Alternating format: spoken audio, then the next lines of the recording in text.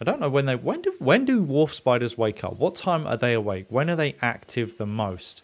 So that I know when I need to just not be around them.